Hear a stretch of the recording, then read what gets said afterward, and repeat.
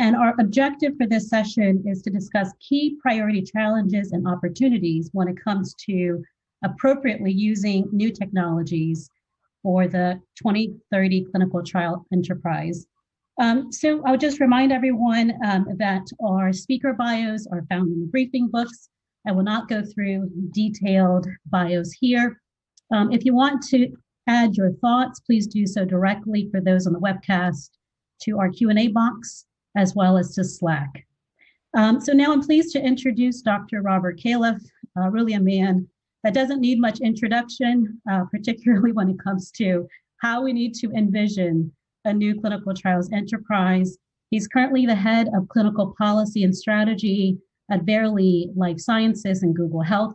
Um, also serves as the co-chair of the Drug Forum and, and former FDA commissioner. So uh, without much further ado, uh, Rob, we're excited to hear from you. Great, thanks Esther, and it's great to be here with you. Can you hear me okay? Yes, we can hear you. Great. So what I did was to listen in to the uh, first part of the meeting, um, tremendous discussion, and then I made some slides on the fly. So they're not pretty, but um, they represent some responses that I had about the use of technology related to what I heard people saying they hope for in the clinical trials enterprise. I do want to note um, it's great to be back with Jeff Drazen because we uh, have been through this exercise before. In fact, I think it's once a decade for 40 years I've been through this exercise and maybe this time we'll make it happen. I don't know. It's um, we still have a long way to go uh, to get this uh, set of issues right.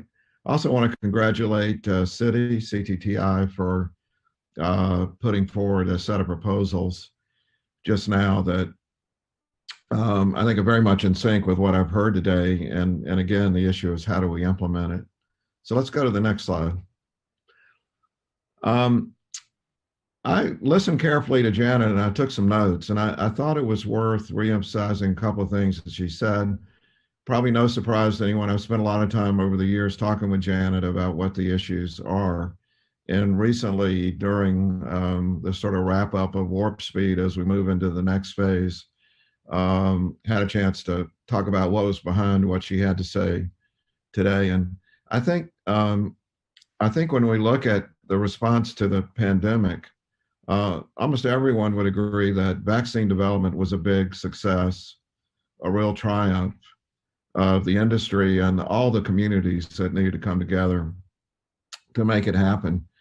But Janet, and I agree with it, um, her view was the clinical trials enterprise was not a success. It was, other than the vaccine trials, it was, uh, with a few exceptions, uh, marked by some characteristics that need our attention.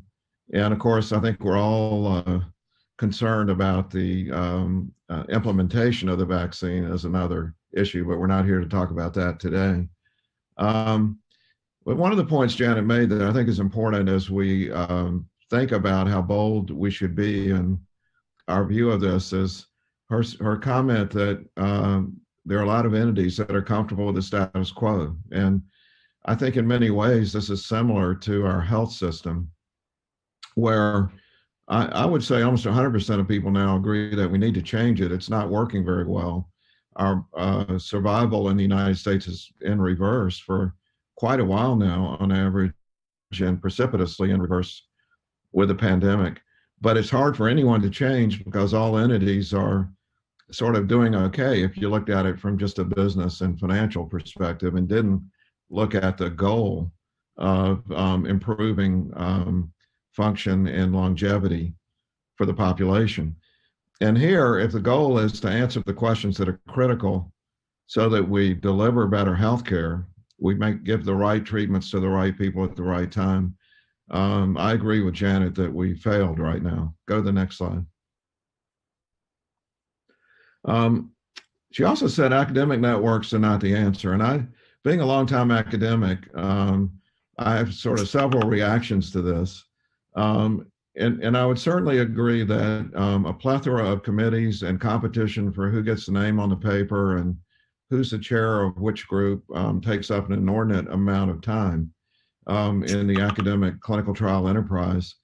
But I think part two for her really is a key story, which is that um, in order to enroll people in clinical trials at the rate that we need to get the answers that we need at the cost that we can afford, we need this to be something that happens out in the community.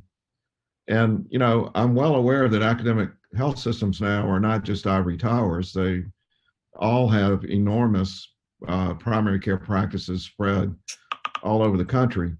So it's not just a matter of uh, community versus academic.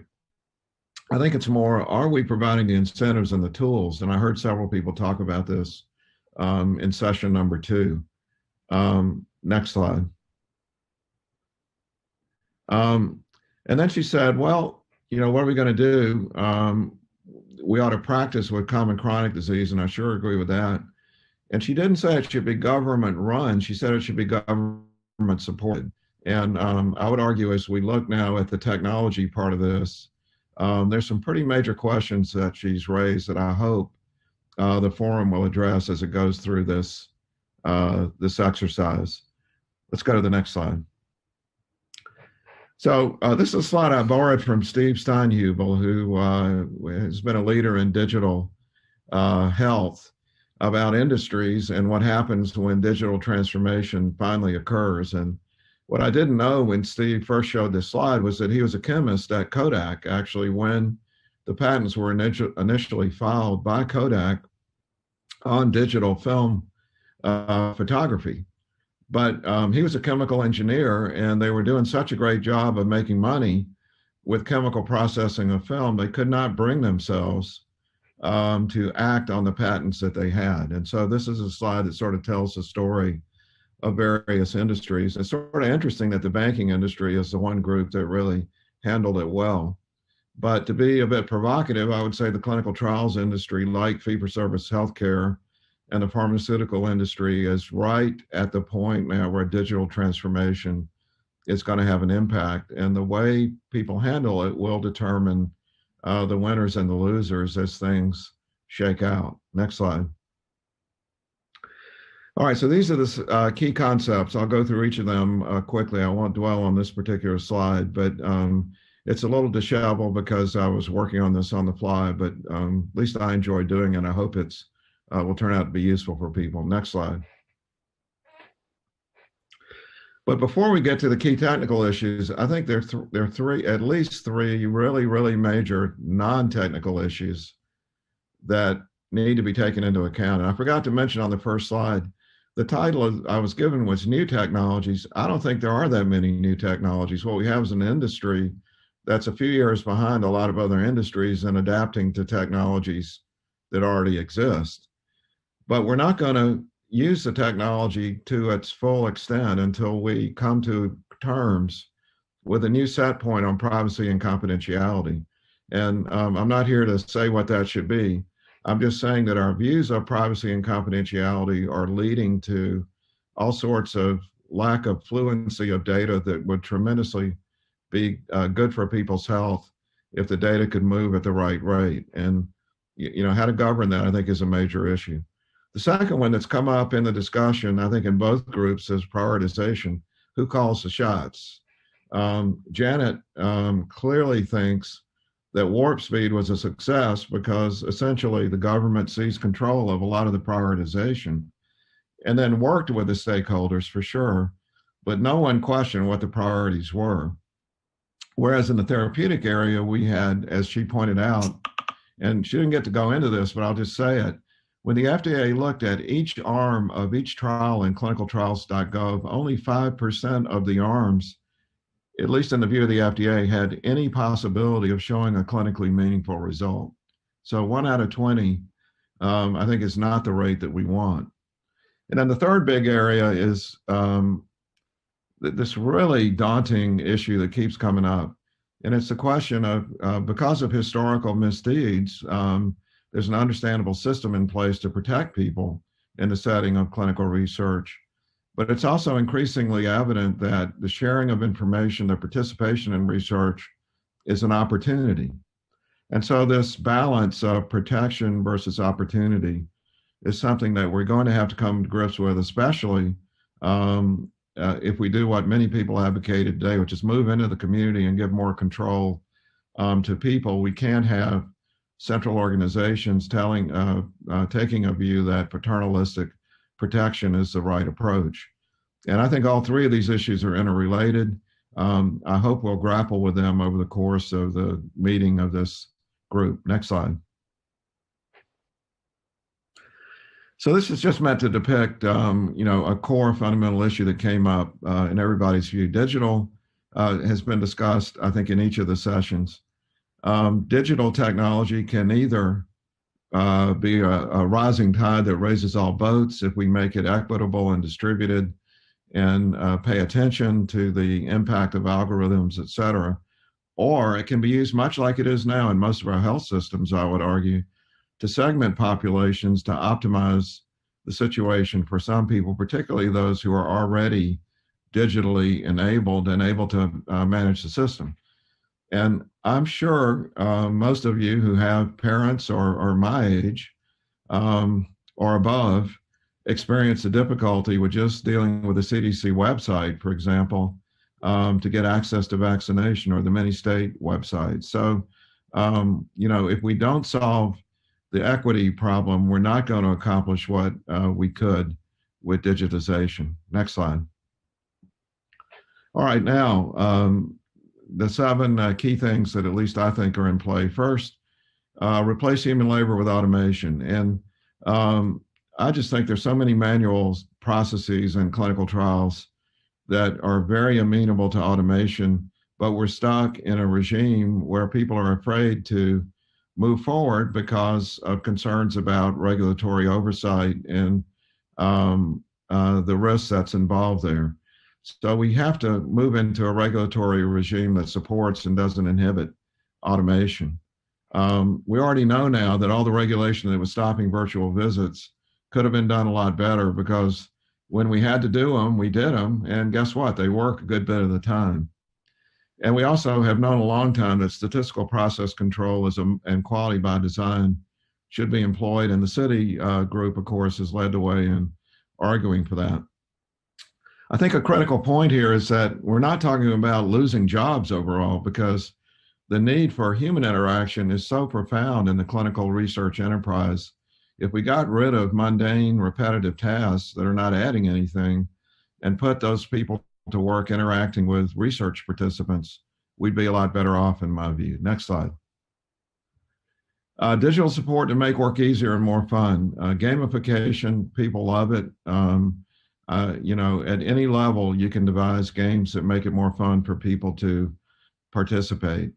Um, and also uh, decision support for trials and clinical practice so that people can function at the top of their license. A lot of the reason we don't delegate down in our activities in healthcare is the risk involved. But with the right digital support and the ability to escalate through a virtual visit, there's a great opportunity to use the talents of people at a lower level of education and a lower cost who can have quite valuable jobs. Virtual visits are headed that direction. Um, uh, much like with healthcare, home health workers are going to be much more prevalent. Also, uh, clinical trialists who go to the home uh, will be very much liked by many of the participants.